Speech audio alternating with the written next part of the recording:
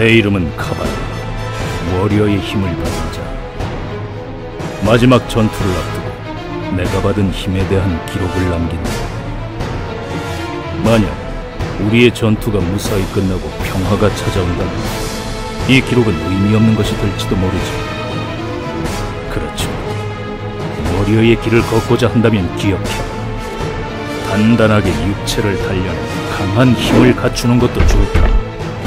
하지만 선두에 서서 적진을 뚫고 인류의 길을 만들고 전장의 분위기를 압도하는 것. 그것은 용기가 없으면 할 수 없는 일들이다. 무엇보다 워리어에게 필요한 것은 용기라는 것을 잊지 말아라. 너희,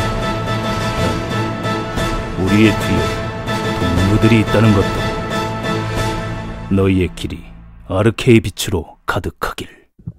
Dark Blood.